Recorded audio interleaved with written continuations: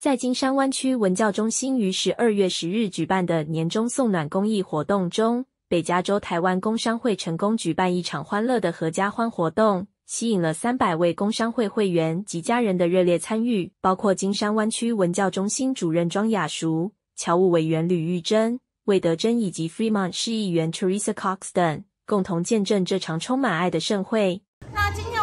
呃，其实有一个很有意义的事，我们很想做的就是帮这些在这边弱势的小朋友们，帮他们呃筹筹款，然后买很棒的文具用品，让他们可以好好的上课。希望大家的支持。北加州工商会的会长今天办这么有意义的活动，能够在岁末年终的时候呢，来为我们的呃同学们呢来募集一些呃学校的一些用品。我想这是个非常有意义的活动。所以在这里呢，我们希望今天来参与的每一位好朋友都能够呃共襄盛举。为了满足大家的味蕾，商会特别准备了丰富的台湾美食，并特别安排了手搓汤圆的活动，让大小朋友们能亲自体验制作汤圆的乐趣。庄雅淑主任表示，活动的举办正好配合冬至的到来，更因为是合家欢，整个文教中心都充满了欢笑和幸福的氛围。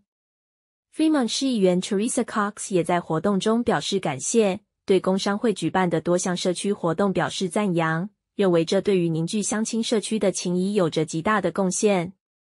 活动现场更是热闹非凡，除了各种美食和手搓汤圆的乐趣外，参与者们也携带实用学习用品，为有需要的孩子送上一份温馨的祝福。